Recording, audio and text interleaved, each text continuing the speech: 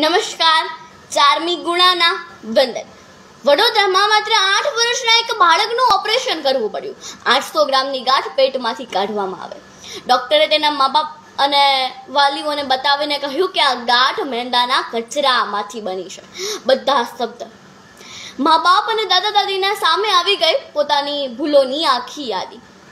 બાળકને પાડવામાં આવેલી જંક ફૂડની આદતથી આવી ભયંકર અસર થશે તેનો અંદાજ પણ ન હતો.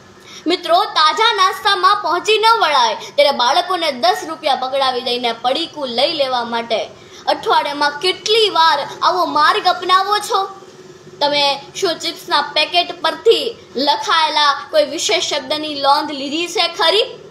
કદાચ નહીં. જેમાં એક શબ્દ ખાસ જોવા મળે છે, મેલ્ટોરેક્સિન. આ એ તત્વ છે કે જે શરીરમાં ફાયદાકારક બેક્ટેરિયાને મારી નાખે છે. એક અઠવાડિયા સુધી તે સતત સેવન કરવાથી પેટના રોગ કબજિયાત એસિડિટી હદ સુધી વધે છે. પેલા પિઝાના ટુકડાઓ કે તળેલી ચિપ્સના પ્લાસ્ટિક પેકેટ. હમણાં જ પિઝા હટ અને લાપિનોઝ જેવી સાત બ્રાન્ચ કે જેની હલકી ગુણવત્તાને કારણે પકડાઈ ગઈ. આપણે તે ધ્યાનમાં લીધું? નહીં. ડબલ્યુ એચ ઓ એક રિપોર્ટ અંગે ગત વર્ષ માત્ર જંક ફૂડને કારણે અમેરિકામાં પંદર હજારથી પણ વધારે બાળકો મૃત્યુ પામ્યા. તો અમદાવાદમાં સિવિલ હોસ્પિટલમાં એવા કેસની સંખ્યાઓ સતત સાત ટકાનો વધારો થયો છે કે જ્યાં બાર વર્ષથી સત્તર વર્ષ સુધીના બાળકોને એટેક આવે છે. આવું ન બને તે માટે આપણે સાવધાન રહીએ. આપણા ઘરમાં સ્વાસ્થ્યનો ભંડાર પડ્યા છે. આહાર તેઓ ઓડકારતો હોય જ છે. સાથે આહાર તેમાંના સંસ્કાર પણ હોય.